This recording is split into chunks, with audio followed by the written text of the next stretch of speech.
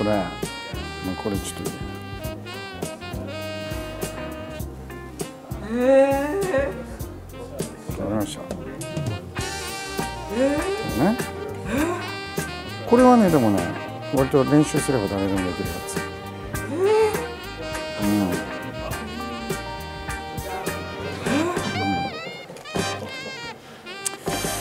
うん。またお越しください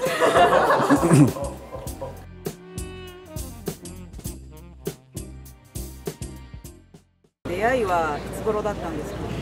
小学校3年4年ぐらいだったと思います。割と手先が器用だったからなんかちょっとやってみたいかもって思ったんですよね。マジックとちょっと似てるんだけど自分とのなんかこう戦いが結果人がおおってなんか喜ん喜んでるとか驚くみたいな。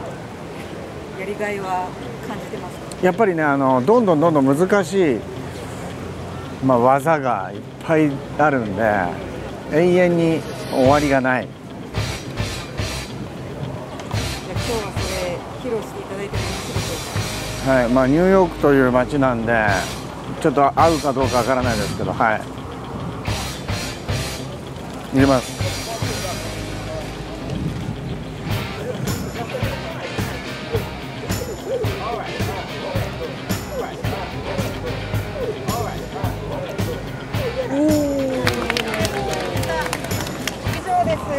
これが最後なんだけん玉のインタビューが最後かい Google Pixel Presents Another Sky